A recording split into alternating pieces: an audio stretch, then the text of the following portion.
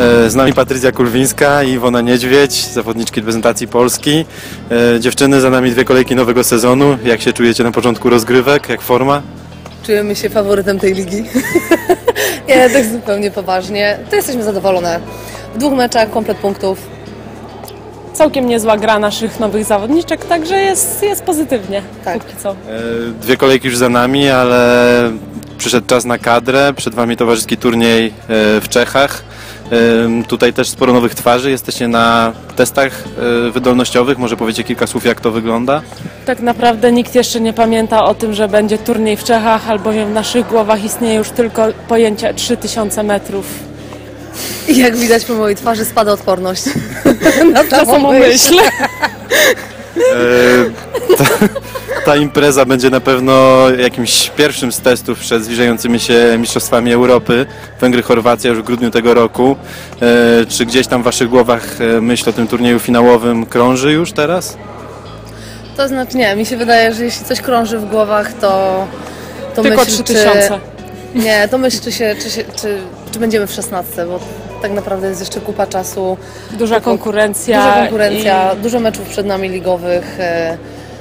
Sport jest przewrotny, czasem e, różnego rodzaju odpukać rzeczy się dzieją, także mi osobiście przyświeca cel e, znaleźć się w 16. Dojechać do, do grudnia bez kontuzji, w jakiejś tam niezłej dyspozycji i wtedy dopiero się martwić o to, czy coś tam ugramy. Życzę powodzenia w takim razie i dziękuję bardzo. Dziękujemy. E,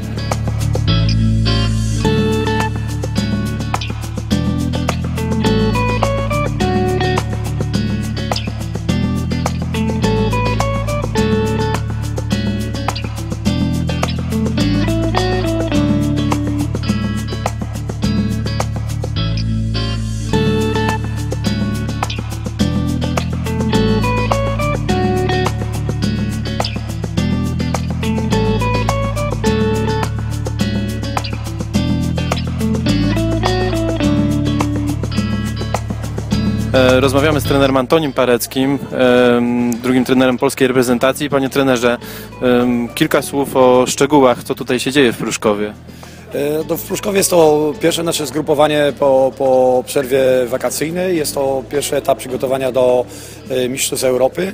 E, Odbywają się tutaj właśnie testy naszych zawodniczek e, i e, testy polegały e, w dniu dzisiejszym na e, szybkościowym teście 5, 10, 20 metrów, na e, teście skocznościowym na macie, test agility, to jest test zwinnościowy, no i my to nazywamy tutaj u nas tak zwane brutalne brzuski. To są ćwiczenia na, na skrzyni, zwisie i wykonywanie skłonów do przodu. Tak jak trener powiedział, jest to w zasadzie pierwszy etap przygotowań do grudniowych Mistrzostw Europy. E, Chwilę potem jedziecie z krajowym składem naszej reprezentacji na turniej w Czechach.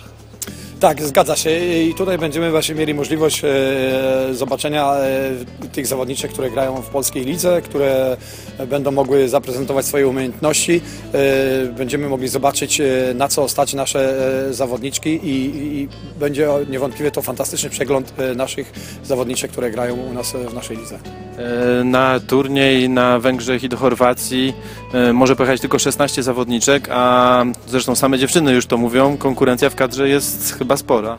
No tak, i to bardzo właśnie nas cieszy. Żeśmy rozmawiali z Kimem tutaj e, wczoraj, że, że, że to właśnie tak wygląda, że coraz więcej dziewczyn puka do, do, do kadry, że coraz więcej kandydatek na poszczególnych pozycjach i, i to tylko cieszy i to ta zdrowa rywalizacja na pewno przyniesie oczekiwane rezultaty w grudniu.